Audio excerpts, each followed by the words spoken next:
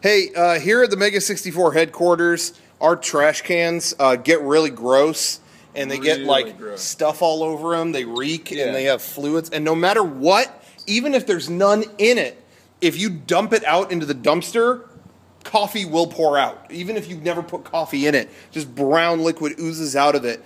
So it's terrible, and after a while, you got to throw them away. This one has is full of rotten food, and then Garrett threw dead mice into it and didn't put them in the How long ago, dumpster like a or week anything. ago? A week ago, and he didn't throw it away. So Kevin went to throw something away a second ago and said it smelled like death incarnate. And I, I'm a Grim Reaper, so I know what that smells like. So anyway, but so we're just throwing the whole damn thing away, but Yeah. Garrett hates when we do that. He's always like, "Oh, I'll take it home and I'll clean it, or whatever." Well, you No. know what? Here, let's show him. Show him what we're about.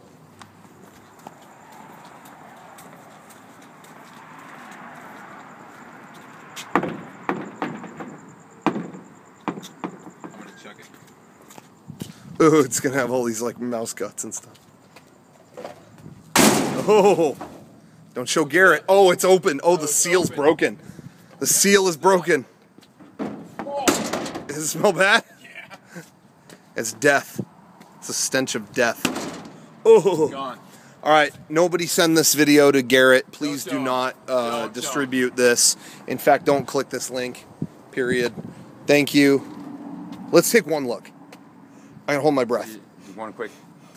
I